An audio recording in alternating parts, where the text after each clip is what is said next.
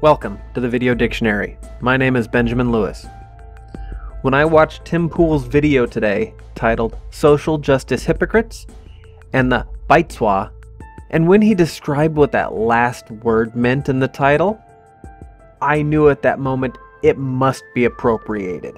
Dare I say, culturally appropriated. Baizuo, noun.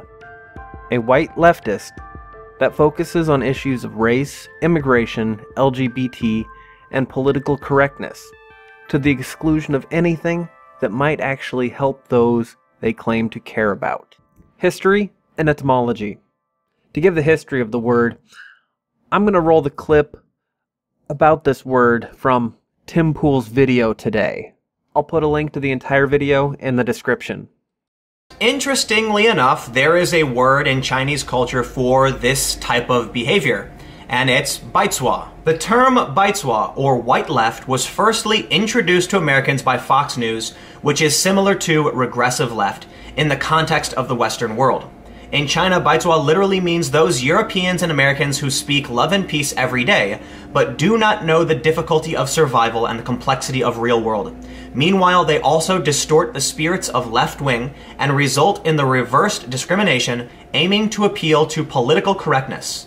From Wikipedia, Baizuo literally white left is a derogatory Chinese epithet that came into being in the middle 2010s. The word received attention in Germany where it was seen as criticizing the immigration policies of Angela Merkel. The word Baizuo is, according to political scientist Zhang Chenchen, a Chinese word that ridicules Western liberal elites. The term has also been used to refer to perceived double standards of the Western media, such as the alleged bias on reporting about Islamist attacks in Xinjiang. The word was defined as people who only care about topics such as immigration, minorities, LGBT, and the environment, and have no sense of real problems in the real world.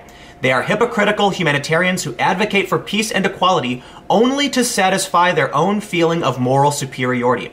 They are obsessed with political correctness to the extent that they tolerate backwards Islamic values for the sake of multiculturalism.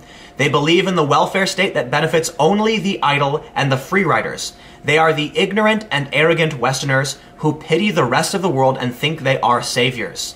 Baizuo is used as an insult among Chinese netizens.